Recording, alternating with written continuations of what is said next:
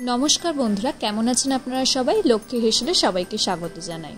আজ আপনাদের সাথে শেয়ার করব শশা চিংড়ির লাজাবাব। চলুন দেখে নেওয়া যাক কীভাবে বানাবেন। দেখুন, আমি প্রথমেই এখানে শশা আর আলু ছোটো ছোটো টুকরো করে নিয়েছি। শশাটা বেসিক্যালি মোটা বুড়ো শশা যেগুলো হয়, যেগুলো আমরা খেতে চাই না, ফেলে দিই। সেগুলো ফেলে না দিয়ে আপনি এভাবে একটা দারুণ রেসিপি বানিয়ে ফেলতে পারবেন। এভাবে শশা কেটে নিয়েছি আর ডুমো ডুমো করে আলু খোসা ছাড়িয়ে কেটে নিয়েছি। গ্যাসেতে একটা কড়াই বসিয়ে দিয়েছি। কড়াইটা একটু গরম হতে দেব। কড়াইটা গরম হয়ে গেছে, এবার কড়াইয়ের মধ্যে আমি সাদা তেল পরিমাণ মতন দিয়ে দিলাম।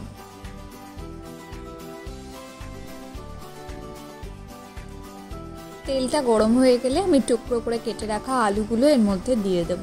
দিয়ে আলুগুলো একটু ভেজে নেব।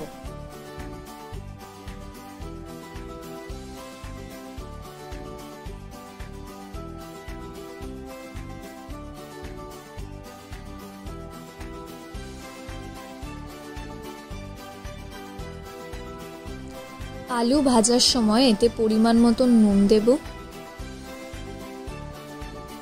পরিমাণ মতন হলুদ দেব। দিয়ে আলুটাকে ভালোভাবে ভেজে নেব।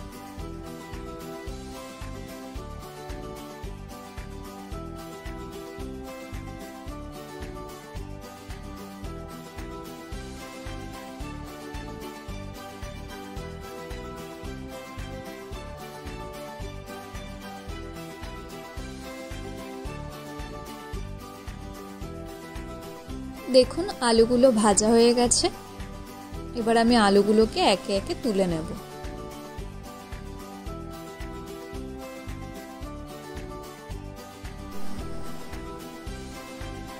আলুগুলো ভাজা হয়ে গেছে। এবার আমি কড়াইতে ওই তেলের মধ্যে যে শশাগুলো টুকরো করে কেটে রেখেছিলাম, সেই শশার টুকরোগুলো দিয়ে দেবো।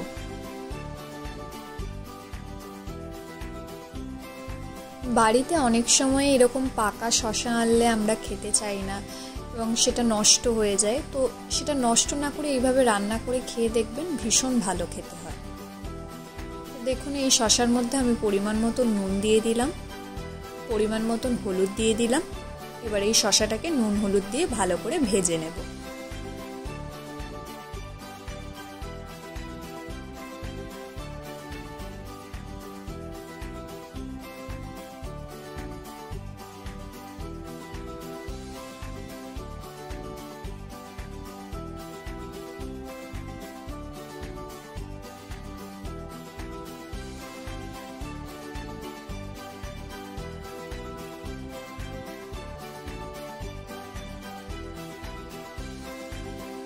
দেখুন, শশাগুলো ভালোভাবে ভাজা হয়ে গেছে, এবার আমি শশাগুলো একে একে তুলে নেব।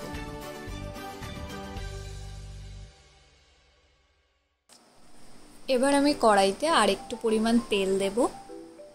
তেলটা গরম হতে দেব।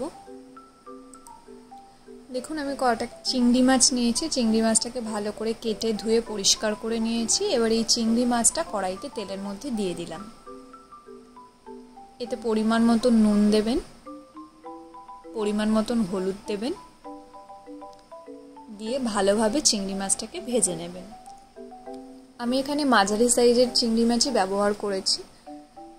কুচো চিংড়িও আপনারা দিতে পারেন। এবার আমি চিংড়ি মাছটা ভাজা হতে হতে মশলা তৈরি করে নেব। এখানে আমি পরিমাণ মতন কাঁচা লঙ্কা দিচ্ছি আর একটুখানি আদার টুকরো দিচ্ছি। ঝালটা আপনারা যে যেমন খান সেই অনুযায়ী দেবেন। দেখুন, চিংড়ি মাছগুলো প্রায় ভাজা হয়ে এসছে। এবার আমি চিংড়ি মাছটাকে তুলে নেব।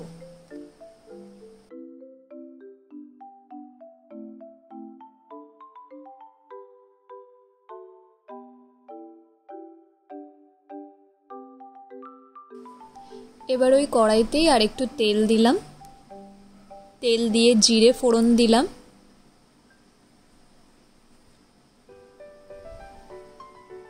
দুটো গোটা তেজপাতা দিলাম। মশলাটা একটু কষে গেলে আগে থেকে যে আদা, কাঁচা লঙ্কা বেটে রেখেছিলাম, সেই আদা, কাঁচা লঙ্কা বাটাটা দিলাম। দিয়ে ভালো করে মশলাটা কষাতে থাকবেন।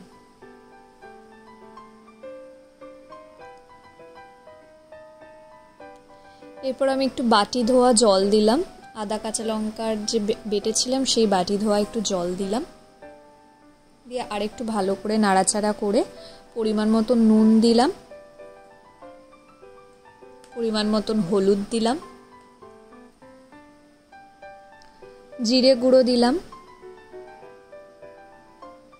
লঙ্কার গুঁড়ো দিলাম। মশলাগুলো আপনারা আপনাদের পরিমাণ অনুযায়ী দেবেন।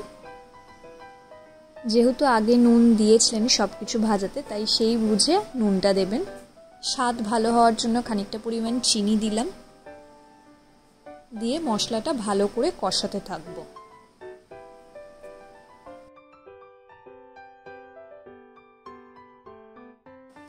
দেখুন, মশলাটা বেশ ভালোভাবে কষে গেছে। এবার আমি ভেজে রাখা আলু আর শশাগুলো একসাথে দিয়ে দিলাম। দিয়ে এবার মশলার সাথে ভালোভাবে আলু শশাগুলো নাড়াচাড়া করে নেব।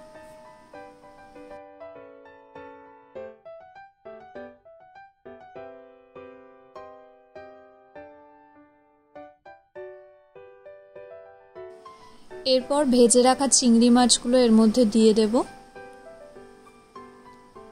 দিয়ে ভালোভাবে মিশিয়ে নেব।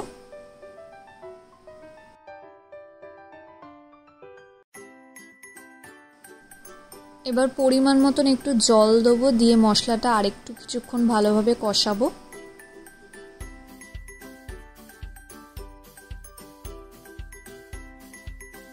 এরপর আমি এর মধ্যে দিয়ে দেবো কিছুটা পরিমাণ কাঁচা ছোলা। কাঁচা ছোলা যে কোনো তরকারিতে দিলেই তরকারিটা খুব টেস্টি হয়।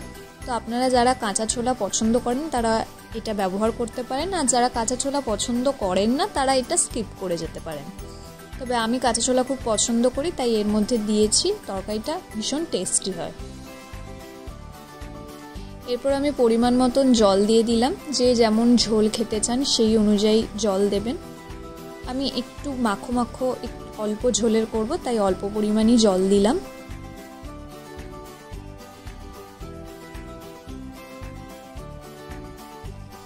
এবার এটা ভালোভাবে সেদ্ধ হওয়ার জন্য কিছুক্ষণ ঢাকা দিয়ে রাখব।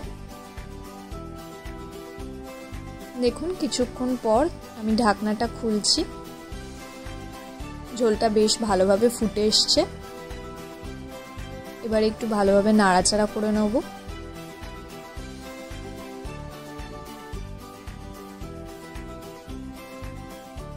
উপর থেকে এক চামচ ঘি ছড়িয়ে দিলাম। নামানোর আগে উপরে একটুখানি গরম মশলা ছড়িয়ে দিলাম। আপনারা চাইলে ওপর থেকে ধনে পাতাও ছড়িয়ে দিতে পারেন। আজকে আমার কাছে ধনে পাতা নেই, তাই ধনে পাতা দিলেও এটা খুব ভালো লাগবে। এই তো দেখুন, হয়ে গেল খুব ইজি প্রসেসে শশা চিংড়ির লাজাবাব ভাবতে পারা যায় শশা আর চিংড়ি দিয়ে এরকম তরকারি।